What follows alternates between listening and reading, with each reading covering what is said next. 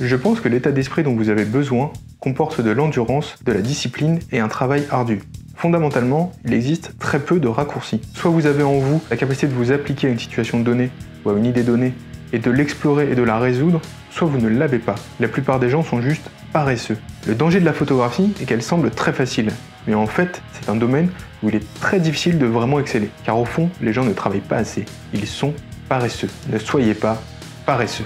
La citation que vous venez de voir est de Martin Parr. Je m'appelle Thomas Moody, je vais vous parler de photographie et aujourd'hui on va voir comment travailler un peu plus parce que je pense que ça ferait du bien à tout le monde.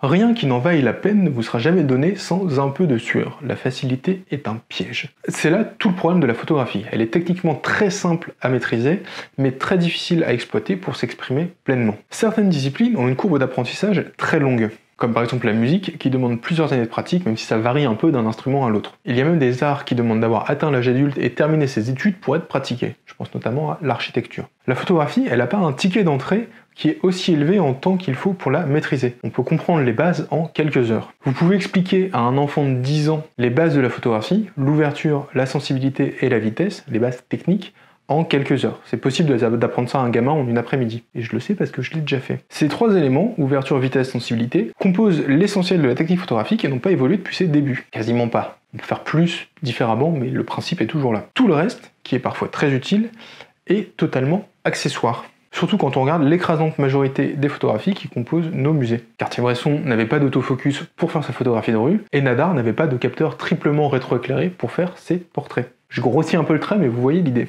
Et ça, c'est commun avec un autre art, par exemple, la sculpture. Vous pouvez apprendre les bases de la sculpture très rapidement à un gamin aussi. Alors là, pour le coup, je peux en parler parce que j'en ai fait quand j'étais gamin. Faut sculpter la glaise avec des outils ou ses doigts, et après, faut la faire cuire. Voilà, la base. Donc une fois que vous savez ça, vous n'êtes pas Auguste Rodin, pour autant. C'est bien que la technique, ça fait pas tout. Et ça, ça explique, je pense, une partie de l'agacement que je peux susciter des fois quand je parle de matériel et de technique. Parce que ce que je vous dis, au fond, c'est pas que vous n'arrivez pas à faire ce que vous voulez, parce que vous n'avez pas le bon matériel, c'est que vous n'y arrivez pas parce que très probablement vous ne fichez à rien. Désolé, pas désolé. Et ça, c'est quelque chose que je retrouve assez régulièrement dans les gens qui claquent la porte de mon contenu à coup de grandes tirades improbables sur la photographie et leur pratique. Improbable, ça veut dire que ça sort que de ta tête et pas de livres ou de choses comme ça. C'est qu'ils ne veulent pas entendre qu'ils doivent travailler et ne veulent plus remettre leur pratique en question. Il y a beaucoup de photographes qui veulent du tout cuit, du pré-mâché à appliquer tout de suite en faisant tout comme c'est dit, du tuto en somme. Alors je précise que je dis pas que certains photographes sont bons parce qu'ils travaillent et d'autres sont mauvais parce qu'ils ne travaillent pas. Euh, j'ai déjà fait une vidéo qui s'appelait Est-ce qu'on a un bon photographe? quelque chose comme ça que je vous mets là. C'est pas exactement ce que je vous dis, je vous dis juste que si vous avez des objectifs et que vous ne les atteignez pas, c'est très probablement parce que vous ne travaillez pas assez. Alors attention, cependant, il y a une différence entre beaucoup travailler et bien travailler. Vous pouvez dépenser une énorme quantité d'énergie pour faire strictement de la merde. Par exemple, passer ces soirées à échanger sur des forums sur euh, pro versus amateur avec Jackie62 de Corrèze, très clairement, ça vous apportera jamais rien. Ou pareil pour tous les trucs genre comment sublimer la vie? et toutes ces conneries, c'est quoi l'art, c'est quoi le beau machin. La plupart du temps, vous allez juste perdre votre temps sur ça. Donc ça, ce n'est pas bien travaillé, c'est juste beaucoup passer de temps sur un sujet. Vous n'avez pas beaucoup de temps, le temps c'est précieux et du coup, il faut que vous placiez judicieusement vos efforts. Mais comme d'habitude, je vais pas faire que gueuler et me plaindre, je vais aussi vous proposer les solutions et les clés pour faire autrement. on va voir ensemble quatre façons de travailler votre photographie. Alors ces quatre façons, je les présente, il n'y a pas d'ordre. Tous les faire, mais un peu comme vous pensez, un peu en parallèle, un peu quand... Voilà.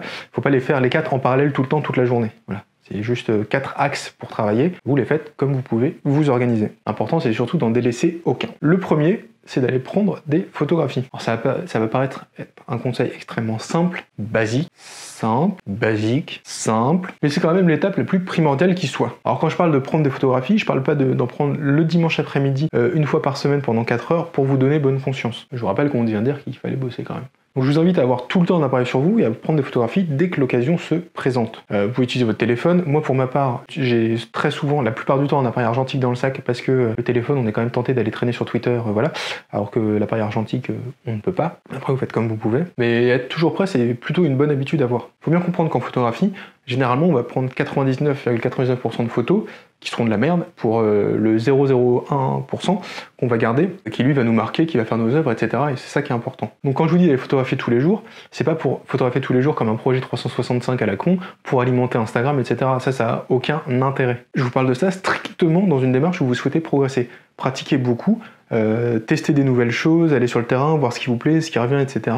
Ça peut être une bonne façon de travailler votre photographie et la façon dont vous cadrez, dont vous composez, etc. en le faisant plus régulièrement. La pratique, c'est important. Et je le répète, il n'y a pas besoin de prendre des photos tous les jours pour être un bon photographe. Euh, Andreas Gursky, qui est l'un des photographes les plus chers au monde, il en prend que 8 par an des images. Et il est beaucoup plus avancé dans sa pratique et il sait ce qu'il veut, il a largement défini son œuvre, etc. Là, j'en parle dans le cadre où, si vous voulez progresser, photographier beaucoup et régulièrement et dès que vous avez l'occasion, c'est une bonne façon de travailler vos images. Le deuxième point, c'est de cultiver votre regard. Alors c'est une formule faussement poétique à la con que je vous sors pour vous dire gavez-vous d'œuvres d'art. Photographie c'est un art et vous devez composer une image pour vous exprimer avec. Et ça c'est pas inné, ça tombe pas du ciel comme ça d'un coup et tout cuit dans le bec. Enfin, ça se peut selon euh, l'éducation que vous avez eue avant, si vos parents aimaient l'art ou pas, tout ça, bref, mais ça se travaille quand même énormément. Et restez pas forcément cantonné à la photographie, vous pouvez aussi vous intéresser à la peinture, qui est l'art le plus proche qu'on en est de la photographie, mais aussi à la sculpture pour voir comment les sculpteurs travaillent les volumes, parce que dans la photographie, des fois, même si c'est un plan, on peut représenter des choses en volume, ça peut être intéressant de voir comment les sculpteurs le font aussi. Vous pouvez aussi vous intéresser à des films pour la composition, la narration et l'image, c'est aussi assez utile d'en regarder beaucoup et des films d'auteur, de préférence. Bref, équipez-vous, votre œil, ça doit devenir une arme de guerre artistique, et ça, ça ne vient pas tout seul. Le troisième point, c'est de réfléchir à votre pratique et de donner du sens à votre photographie. Parce que si votre photographie n'a pas de sens, il n'y a pas grand intérêt euh,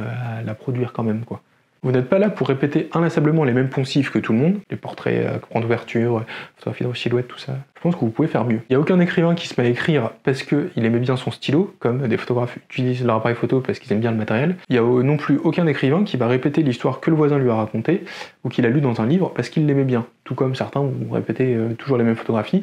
Suffit d'aller voir la ligne de 500px pour s'en convaincre. Donc, pour consacrer du temps à réfléchir à votre pratique, c'est très important pour progresser. Qu'est-ce que vous voulez faire? Tu voulais dire Où est-ce que vous allez? Et le quatrième point, c'est que votre photographie, elle mérite votre temps. Elle mérite le temps de la retoucher, de la travailler, de la trier, de l'éditer, etc. Faut pas rentrer chez vous et balancer tout sur internet dès que vous avez fait une sortie photo. Le but du jeu, c'est pas de faire plaisir à des algorithmes sur les réseaux sociaux. Dans 20 ans, toutes ces plateformes, elles auront disparu et elles auront été remplacées par d'autres. Donc ne consacrez pas votre temps à des futilités comme celle-ci. Un bon travail photographique, c'est vraiment ça qui va survivre à l'épreuve du temps plus qu'un nombre de likes sur Instagram. Et c'est à ça que vous devez plutôt vous consacrer. Ah oui, et le, je vais revenir sur, un, sur le dernier point, sur un petit truc. Euh, je vous dis de consacrer du temps. Je pense que dans les commentaires, il y a des gens qui vont dire bah, Moi, j'ai pas le temps de faire ça. Alors, je pense qu'il y a des personnes pour qui c'est vrai. Je pense que si vous êtes une mère célibataire avec quatre enfants et un travail à une heure de route de chez vous, effectivement, vous allez avoir pas beaucoup de temps à consacrer à ce genre de truc, ça se comprend, euh. Mais euh, je pense aussi que on est maître de notre temps, on choisit ce qu'on en fait, et que bah, il y a plein de choses peut-être qui sont pas importantes sur la durée que vous pouvez supprimer pour faire une meilleure photographie. Euh, moi par exemple quand j'ai voulu écrire mon bouquin, c'est une habitude que j'ai gardée depuis, j'ai arrêté de regarder des séries. Je me suis dit est-ce que dans 5 ans je serais content d'avoir regardé euh, l'intégrale de ça sur Netflix ou d'avoir produit ces trucs-là? Dit, bah, ça c'est plus important, donc euh, tant pis pour Netflix et les séries. D'ailleurs, j'ai pas d'abonnement Netflix. Et vous voyez l'idée. Il y a sûrement des choses que vous faites qui sont pas très importantes, qui vous demandent du temps et que vous pourrez peut-être supprimer pour consacrer à la photographie si c'est plus important et si c'est ce que vous voulez. Pour être honnête, et c'est quelque chose de plutôt rassurant quand on regarde ça de façon rétrospective, c'est qu'il faut des dizaines d'années pour vraiment faire des travaux de ouf, trop trop bien et qui font sens et compagnie. Ça tombe, ça tombe pas rapidement. C'est rassurant parce que quand on regarde l'œuvre, par exemple, de photographes euh, dont je vous ai déjà parlé, comme Joel Meyerowitz, William Eggleston, ça nous paraît, on se dit putain, mais c'est le mec, ils ont fait des trucs incroyables, euh, voilà. Mais en même temps, Joel Meyerowitz, il a 80 ans, euh, ça fait 60 ans qu'il fait ça. Forcément, sur la durée, il a développé des compétences qui sont exceptionnelles. Mais vous pouvez aussi y arriver, c'est la bonne nouvelle. En travaillant longtemps et de la bonne façon, bah, il n'y a pas de raison que vous n'y arrivez pas non plus. Le meilleur exemple de ça, c'est un photographe qui s'appelle Robert Mapplethorpe. Euh, il y a un reportage sur Arte sur lui qui tourne des fois. Il faut surveiller les replays, qui est pas mal. Donc c'est un photographe américain, Robert Mapplethorpe, Mapplethorpe, Mapplethorpe, Robert. Et, et c'est un photographe qui était un bourreau de travail jusqu'à la toute fin de sa vie. Il a vraiment jamais lâché l'affaire. Dès qu'il est arrivé à New York, il était très curieux et il a toujours cherché à bah, il a commencé une collection d'images, il a beaucoup photographié sans cesse, il a toujours amélioré ses éclairages, sa composition, etc. Il a vraiment jamais, jamais, jamais lâché l'affaire, du début jusqu'à la fin. Euh, il a fait ça jusqu'à atteindre une forme de perfection qui était la sienne. Hein. Ces images, vous pouvez les trouver parfaites et d'autres pas du tout, mais pour lui, il avait atteint ce qu'il souhaitait. Et en fait, il savait ce qu'il voulait et il arrivait à vraiment aller au fond du sujet. Et c'est peu dire. Analyser son œuvre présente aussi un autre avantage. Vous y verrez des photographies de fist-fucking, ce qui est assez peu courant dans le monde de la photographie artistique. Et c'est aussi l'exact inverse de ce que vous croiserez sur des sites comme 500px dont on vient de parler. En effet, Là, vous avez une personnalité artistique photographiant des trous du cul, alors que sur 500px, vous avez des trous du cul photographiant sans personnalité artistique. Donc ça change et merci Robert d'avoir fait ce petit pas dans l'histoire de l'art. Donc pour résumer, faites votre part du boulot, vaut mieux travailler trop que pas assez, et je pense que le vieillard que vous serez un jour pourra vous en remercier d'avoir pris cette décision là, maintenant, de bosser plus votre photographie. J'espère vous avoir donné envie de vous y mettre. Euh, si cette vidéo vous a plu, je vous invite à la partager, à vous abonner, à laisser un petit pouce bleu, à vous appeler votre mamie, vous lui dites voilà, mamie c'est cool, j'ai découvert un truc. On y va. Comme d'habitude, je mets dans la description un lien vers mon livre qui s'appelle 10 outils indispensables pour votre projet photo. Je vais mettre là, dans un coin. Bossez bien, bossez beaucoup, et je vous dis à la semaine prochaine.